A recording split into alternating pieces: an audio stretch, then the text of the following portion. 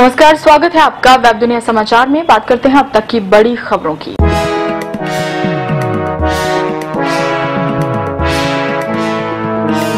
जेटली ने कहा, राहुल की समझ पर आश्चर्य, कब सीखेंगे? केंद्रीय वित्त मंत्री अरुण जेटली ने कांग्रेस उपाध्यक्ष राहुल गांधी के लोकसभा में बुधवार को दिए गए भाषण पर प्रतिक्रिया देते हुए कहा कि उन्हें गांधी की समझ पर आश्चर्य होता है कि वो कितना जानते हैं और वो कब तक सीखेंगे। जेटली ने कहा कि जब भी कोई व्यक्ति युवा अवस्था को पार करता है तो आप उससे गंभीरता बरतने की उम्मीद करते हैं। जितनी बार भी मैं राहुल गांधी को सुनता हूँ, मुझे उतना ही आश्चर्य होता है कि वो कितना जानते हैं और कब तक सीखेंगे? उल्लेखनीय है कि राहुल गांधी ने लोकसभा में राष्ट्रपति के अभिभाषण पर धन्यवाद प्रस्ताव पर चर्चा के दौरान कहा था कि प्रधानमंत्री नरेंद्र मोदी अपने स्तर पर ही महत्वपूर्ण फैसले ले लेते हैं और संबंधित मंत्रियों को भी उसकी जानकारी नहीं होती।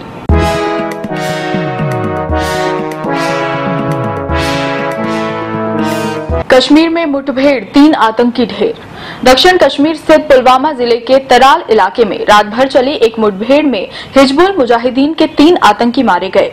सेना के एक अधिकारी ने कहा कि सुरक्षा बलों ने आतंकियों की मौजूदगी से जुड़ी सूचना मिलने के बाद बुधवार देर रात तराल के ददसारा इलाके की घेराबंदी करके खोजी अभियान चलाया था।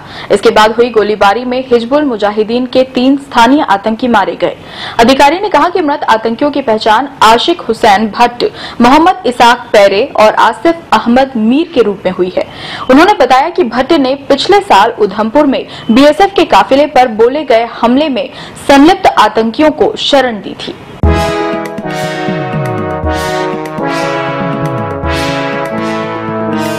उत्तर कोरिया ने फिर किया मिसाइल परीक्षण।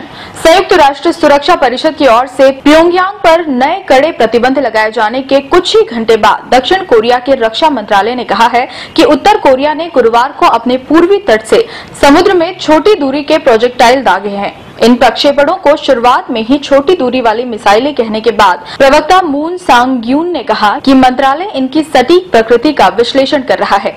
मून ने कहा कि इन्हें पूर्वी सागर, जापान सागर में स्थानीय समयानुसार सुबह 10 बजे दागा गया। उन्होंने कहा की दक्षिण कोरियाई सेना उत्तर कोरिया की ओर ऐसी किसी भी अन्य कदम आरोप निरीक्षण कर रही है।